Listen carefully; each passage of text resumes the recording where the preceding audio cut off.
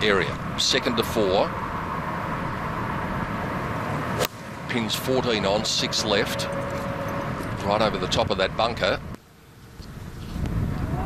About there. Oh, that's some nice ball striking. We'll talk more about that in a moment. This is how Ariya got to where she is. How's her iron play going? That's looking very dangerous. Good wedges, good putting, and the world's your oyster. Oh, Oh, no. Ariya. So that was for birdie because it was just a, a short little wedge in. Now, Pete, that's something we did see her do a little bit of last week. Missed some short putts. Mm-hmm. Now, from that lie, Ariya Jutanugarn, she's going to have to think this has to jump just a bit. Oh, she smoothed it out, trying to keep it low under that wind.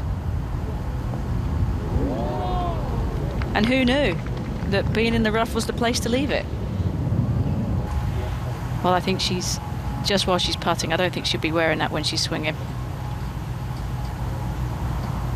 Oh, yes. It could become a lucky putting jacket. That was perfect.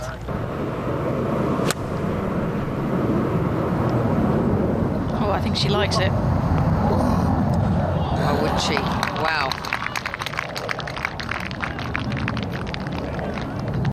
It's a slightly quicker shrug of the shoulders, little than she has been doing.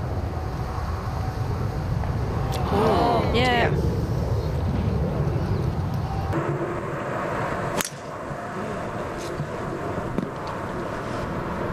Coming in flat. Didn't quite get it there, but hasn't done herself any harm. She's given herself plenty of room to work with. Ariya puts herself in a much better position. She's opened up the green. Just bumping and running this one up. No way. How nice is that? It's just a simplest tap in for her birdie.